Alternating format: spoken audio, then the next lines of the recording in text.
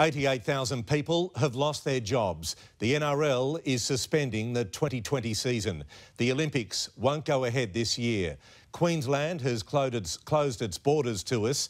3,000 Australians are stranded on cruise ships around the world. And we can't go to the pub for a drink.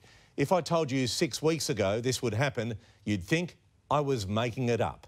Well, all of these things happened in one day.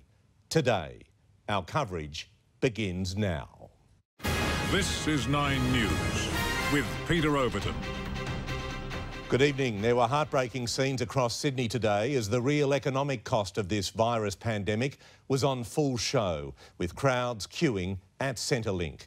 There were faces and stories to put to more than 80,000 hospitality jobs lost over the past few days, with a warning 200,000 will go.